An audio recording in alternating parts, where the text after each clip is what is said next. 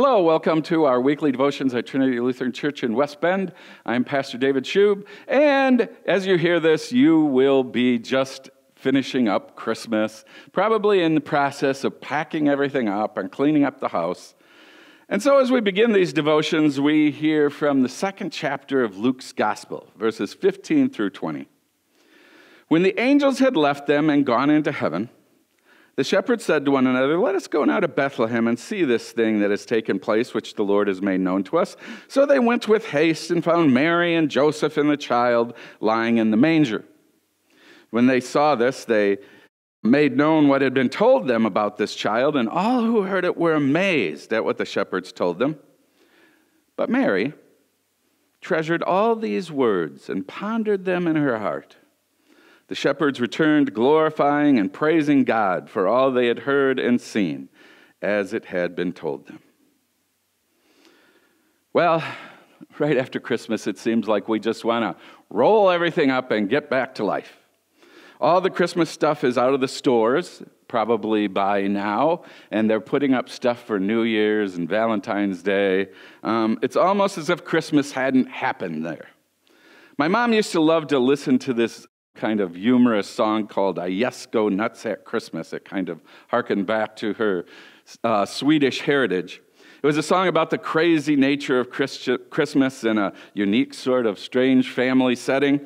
And near the end was the line, Oh, I'm so glad Merry Christmas comes, yes, once a year.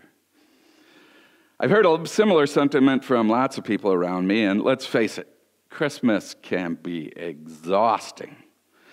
So, for many, it's a time to clean things up, leave Christmas in the rearview mirror until next year. And that's perfectly understandable. And yet, in the gospel today, we read these powerful words Mary treasures all these things and pondered them in her heart. I'm sure the birth in Bethlehem was no picnic, and yet for Mary, that birth meant everything was different. Her words of the Magnificat in chapter 1 of Luke's gospel express the same reality. Christmas is not meant to be yes one time a year.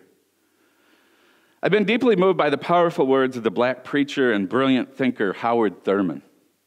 He wrote words that have become famous When the song of the angels is stilled, when the star in the sky is gone, when the kings and princes are home, when the shepherds are back with their flock the work of Christmas begins to find the lost, to heal the broken, to feed the hungry, to release the prisoner, to rebuild the nations, to bring peace among siblings, to make music in the heart.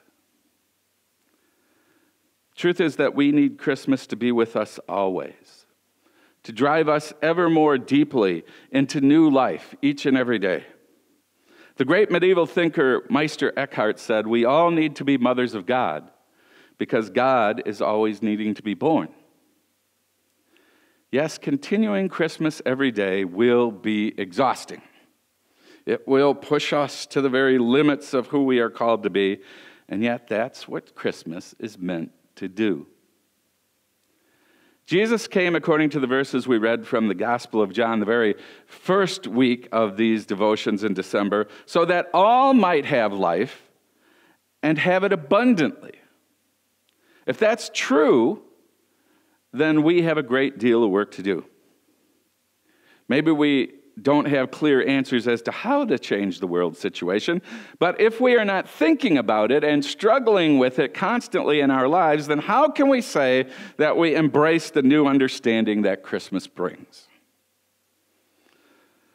I found this story always a fascinating story. Long ago, a man sought the perfect picture of peace. Not finding one that satisfied, he announced a contest to produce this masterpiece. The challenge stirred the imagination of artists everywhere, and paintings arrived from far and wide. Finally, the great day of revelation arrived. The judges uncovered one peaceful scene after another while the viewers clapped and cheered. The tension grew. Only two pictures remained veiled. As the judge pulled the cover from one, a hush fell over the crowd. A mere smooth lake reflected lacy green birches under the soft blush of the evening sky. Along the grassy shore, a flock of sheep grazed undisturbed. Surely this was the winner.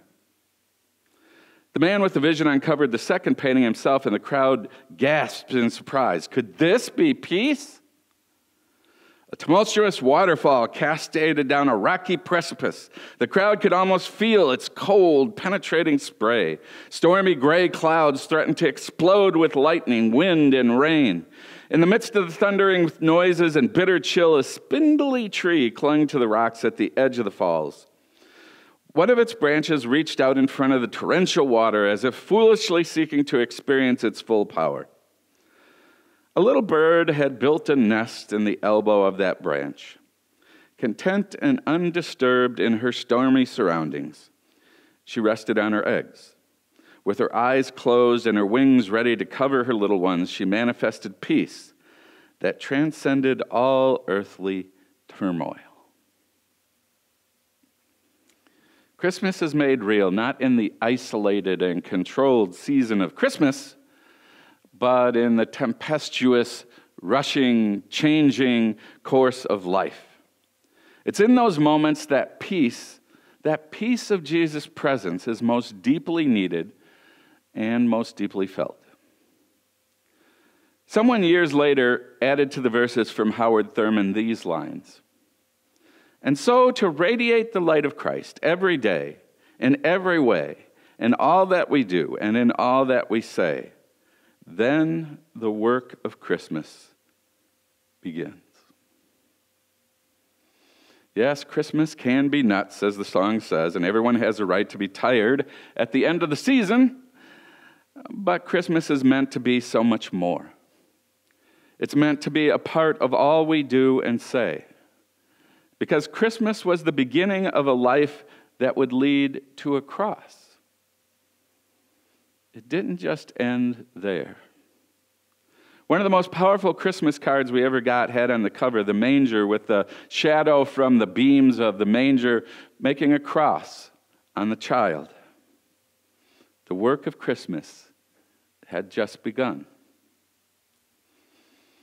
As our closing prayer, I invite you to go to YouTube and listen to a song by Josh Wilson called Once a Year. The link is listed on these devotions.